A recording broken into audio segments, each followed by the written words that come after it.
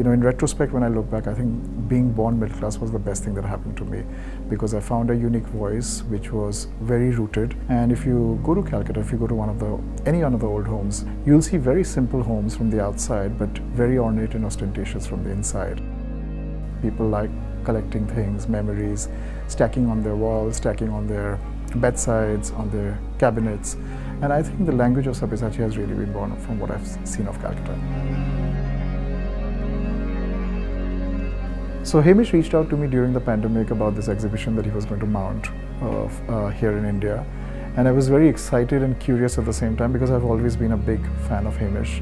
So at the Indian fashion exhibit, I wanted to do something uh, build something from archives, which was actually my first uh, attempt at creating something that was a international design language but very rooted in Indian uh, craftsmanship and I did a version of that for the exhibit.